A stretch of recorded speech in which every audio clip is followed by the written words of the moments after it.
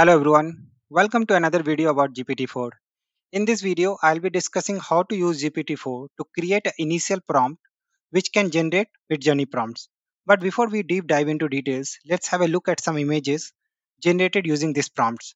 I will share the prompt as a link, check out the description, and check out my other videos about Midjourney. Let's have a look at the prompt first. So this is the prompt which we will be giving to ChatGPT-4 to build our Midjourney prompts okay? And other things this is not something i have written by myself. So what i did is and i copy pasted entire document to this chat gpt okay? And it was able to understand everything and create a final list for me. So if you see that it is able to understand all the details from the document what is required to create the prompt and it has given me the list right? I gave other parameter details and it was able to add those details and create a final list. So by doing some experiment with the chat gpt i was able to finalize this uh, prompt. So now we will use this prompt to build our midjourney prompts. So let's go ahead.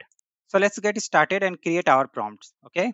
So you can see here i'm using model uh, gpt-4 and i have provided my prompt here. I'm going with sunset scene with mount fuji.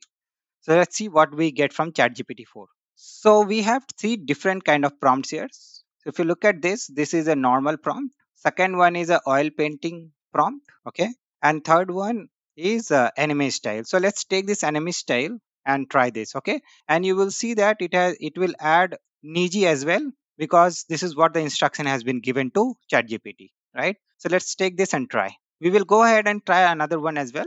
Try the first one. Let's have a look at the images which we were able to generate. So here is the Niji version and here is the photorealistic version of that. So you can see that you know it described the image so well that we were able to generate such stunning images from this right? Another one is this is the anime version and this is even amazing right?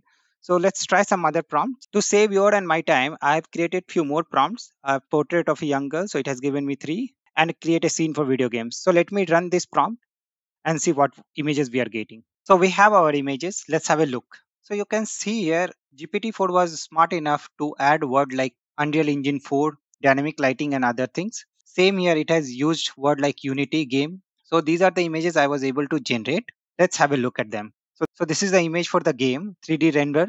Another uh, using Unity. And this is with the cyberpunk style, right? And then I went ahead with the portrait, right? So this is the portrait example I've got. This is the uh, photorealistic version. This is the uh, digital illustration version and then went i went ahead and tried another uh, human as android. So you can see here uh, we have got images like this. So let's have a look at the upscale version of those images. So you can see here these images are really good and well defined. You know look at this this one look at this one. So this is the upscale version of that game image cyberpunk that unity. And this is the upscale version of that our mount fuji. And this is the anime version. So you can see that you know with the few words uh, we can able to create a prompt which is really powerful and can generate uh, amazing images. If you like this video, hit the like and subscribe button. See you in the next video. Thank you.